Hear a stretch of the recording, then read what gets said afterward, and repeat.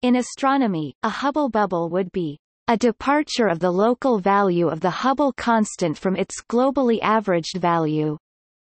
Or, more technically, a local monopole in the peculiar velocity field, perhaps caused by a local void in the mass density.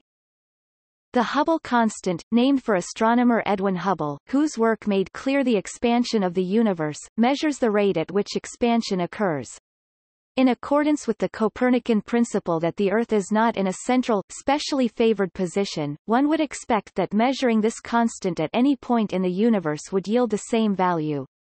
If, on the other hand, Earth were at or near the center of a very low-density region of interstellar space a relative void, denser material in a shell around it would strongly attract material away from the center point.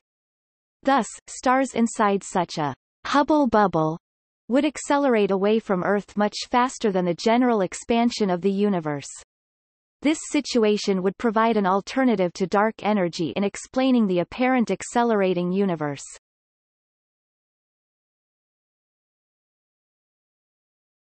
Topic. Hubble bubble proposed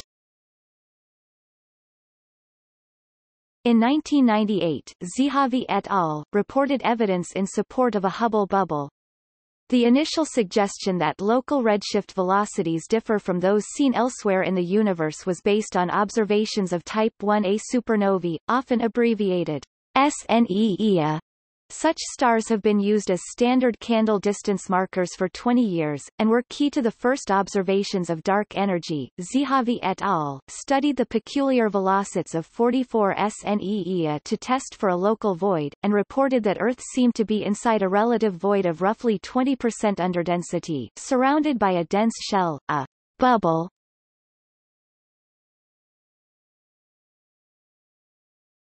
Topic. Testing the hypothesis